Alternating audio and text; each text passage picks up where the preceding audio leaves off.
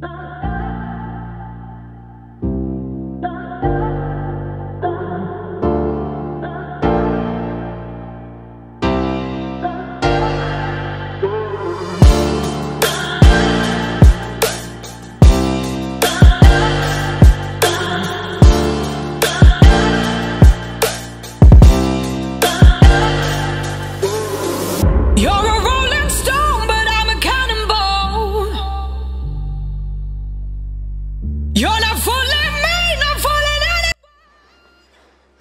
what's up love bugs? I am back with another video. Hey guys it is officially the end of 2018 2018 was pretty bomb for me i'm not going to lie. So i'm so excited what i'm to be blessed with in 2019 thank god for this entire year the lessons and the many blessings.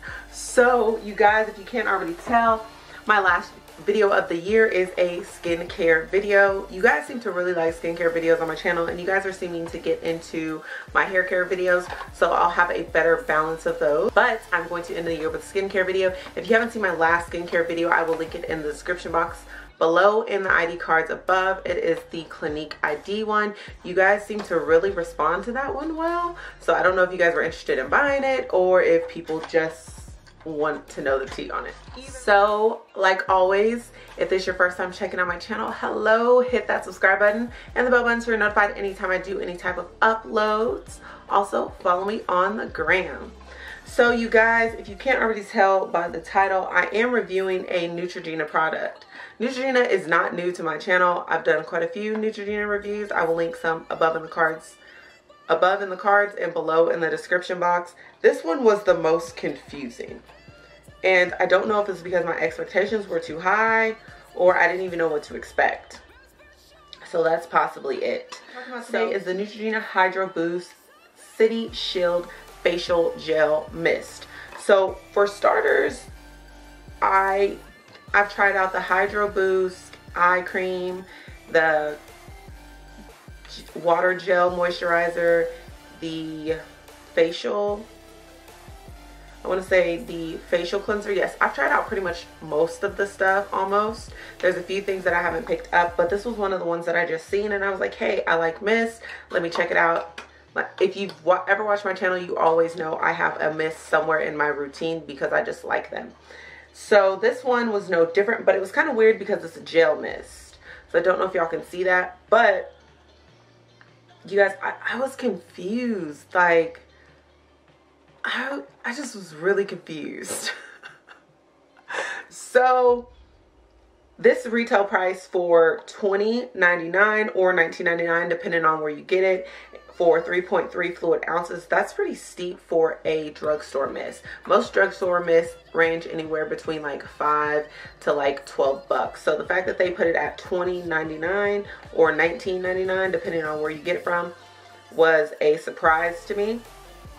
It says that a lightweight gel mist boosted with a complex of purified hyaluronic acid, antioxidants, and botanical extracts to instantly revive and improve the look of pollution stressed skin. This facial mist can be applied under or over makeup. I would apply this over makeup. And can be spritzed throughout the day for refreshed, dewy skin. So this almost reminds me of a setting spray. However, the spray never seeps in your skin. And I'm going to show you guys this on my hand. So these are two completely different mists. I know they're two completely different mists. They're made up of two different things, but this is what I'm used to a mist doing. So this is just a water deep moisturizing mist by Noonie.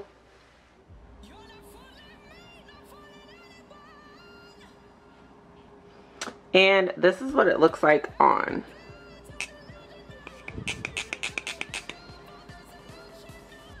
So if you spray it, that's a little extreme. But when you spray it, this is the consistency. And then eventually it absorbs in your skin. So this is my right hand. My left hand, I'm going to spray this one. And for this is a gel mist so it is going to have a different consistency and it is going to spray a little bit different so as y'all can see that's the consistency of the two and this one just eventually absorbed and it just moisturized fell into my skin. This one we're gonna wait till it dries and then y'all are gonna see how it dries. So as y'all can see they did come out very very different on hand and that honestly wasn't the issue. So as time went on I thought okay yeah it's gonna absorb it's gonna make my hand feel amazing or my face feel amazing and obviously you spray a lot less on your face because it is a gel so you have different expectations for this. So you do like one to two pumps one to three pumps whatever away from your face. So as y'all can see this is what it still looks like. It still has a lumpy consistency and it's still wet. The thing that I didn't understand about it and maybe because it's taking this mist is geared more towards the shield property than anything it once it finally like settled onto my skin because it never settled into my skin. It was very sticky. It was kind of a tacky residue left. And the residue the best way to describe the residue is you know how you do a facial mask and it still has that excess product on it but the product just depending on the type of mask you get it just sits on your skin. That's what it felt like. And then when I washed my face off at the end of the night my face still felt very, very dry. So not only did this mist not do anything for me, but it was just very, very sticky, very, very tacky, and it left like a film over my skin.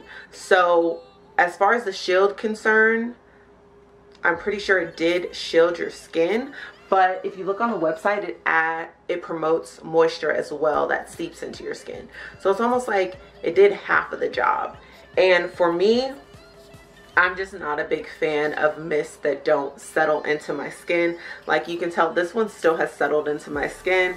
This one on the other hand, I don't know if you can see up close. It hasn't settled, but it still leaves like a film. Like it's just, it's weird.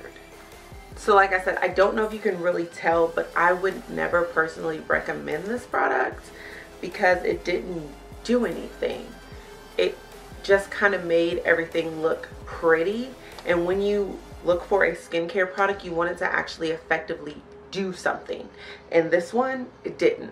So sound off in the comment section. Let me guys know if I'm using it wrong. Let me know if y'all used it. Let me know if my expectations are a little too high. I, I don't know. This product was just so confusing to me. And I was so excited about it. But it just didn't do it for me. So sound off in the comment section below. Let me know. I've been reading some of the comments on this and some of the comments align with how I felt about the product. So just let me know. Sound off in the comment section. Your girl's confused. But I hope you all have a wonderful New Year's and I will see you guys in 2019. Bye.